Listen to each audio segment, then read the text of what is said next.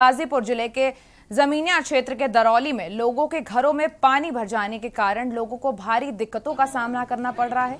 यहाँ के लोग घरों में पानी घुस जाने के कारण बहुत ज़्यादा परेशान हैं। इनकी परेशानी का कारण गाँव में बनी पोखरे का पानी है, जो जमानिया से दरौली जाने के लिए जो मार्ग की सड़क भी पानी से डूब जाती है, जिससे आने जाने में लोगों को काफ़ी दिक्कत होती है। इस पानी का निकालने के लिए कोई व्यवस्था अब तक ग्राम प्रधान, ब्लॉक प्रमुख, जमानिया विधायक द्वारा नहीं की गई है।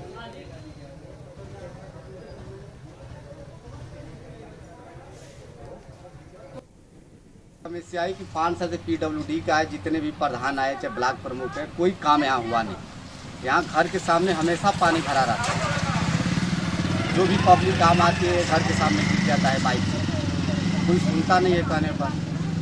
समस्या कब से आ रही है? ये पाँच साल हो गया। पाँच साल से कोई पानी का निकासी भी नहीं है। तो क्या? आप लोग अपनी आवाज़ को लेकर भाई आवाज़ सर उठाते लिए कोई सुनता नहीं है ना। खबर और